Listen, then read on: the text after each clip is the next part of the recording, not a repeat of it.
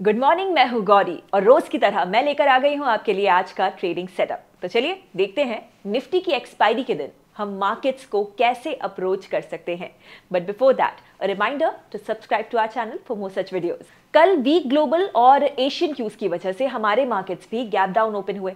But thankfully जो sell off था, वो उतना सिग्निफिकेंट नहीं था।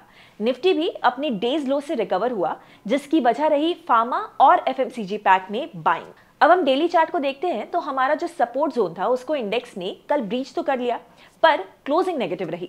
ऐसे में ग्लोबल मार्केट में नेगेटिविटी के चलते मार्केट्स में वॉलेटिलिटी बढ़ सकती है।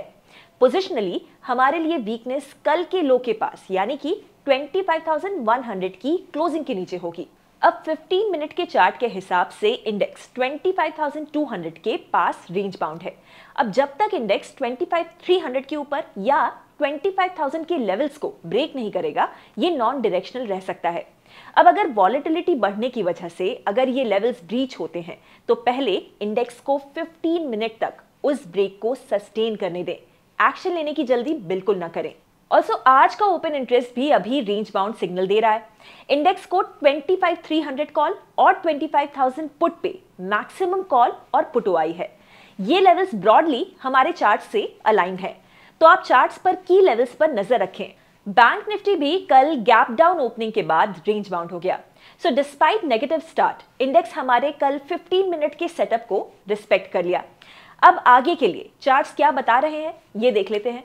इंडेक्स ने कल डेली चार्ट पे एक डोजी कैंडल बना दी है, जो कि अब इंडिसीजन को रिफ्लेक्ट कर रही है। और ये एक इनसाइड कैंडल भी है। अब यहाँ पर जो सेटअप है, वो थोड़ा ट्रिकी है। यहाँ हम आज वेट एंड वॉच अप्रोच लेंगे।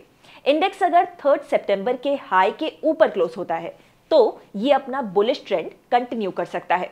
पर अगर क्लोजिंग नेगेटिव रहती है तो हम बेरिश तभी प्लान करेंगे जब ये 50,900 के अपने सपोर्ट को ब्रेक कर देगा। बैंक निफ्टी के 11 सितंबर के इनिशियल ओपन इंटरेस्ट में अभी 51,500 की स्ट्राइक पर रेजिस्टेंस स्टैब्लिश्ड है। पर ये इनिशियल है और इस डेटा को हम वीकली क्लोज से अलाइन करके देखेंगे। चलिए अब ये देख लेते हैं कि कौन से स्टॉक्स आज एक्शन में रह सकते हैं। सो वेंसडे को लॉन्ग बिल्डअप देखा गया इन हिंदुस्तान पेट्रोलियम एंड बोजो पेंट्स क्रूड ऑयल में फॉल का सीधा असर इन कंपनीज़ पर पड़ा। साथ ही Biocon Granules India and Bharat Forge में भी एक्शन देखा गया। और दूसरी ओर शॉर्ट बिल्डअप देखा गया in RBL bank Federal bank bank of Baroda Tata power and Coal India Nifty 200 के बास्केट में वॉल्यूम और प्राइस के हिसाब से जो स्टॉक्स मोमेंटम में रह सकते हैं, वो है Mazagon dock ship builders Biocon Berger paints Asian paints and Hindustan Petroleum अगर आप एक्सपर्ट से ट्रेडिंग और इन्वेस्टिंग सीखना चाहते हैं देन एक्सप्लोर कीजिए अप लर्न जहाँ पर केवल ट्रिपल नाइन के प्राइस पर आपको मिलेगा तीन महीनों तक हमारे वेबिनार्स और कोर्सेज का अनलिमिटेड एक्सेस ज़्यादा डिटेल्स के लिए डिस्क्रिप्शन चेक कीजिए। अगर आपको ये वीडियो पसंद आया तो हमें कमेंट्स में ज़रूर बताइएगा और इसे लाइक एंड शेयर करना भी बिल्कुल मत भूलिएगा। ऐसे और भी वीडियोस देखते रहना है then do hit the subscribe button हम जल्दी मिलेंगे नए वीडियो के साथ। Investment in securities market are subject to market risk read all the related documents carefully before investing.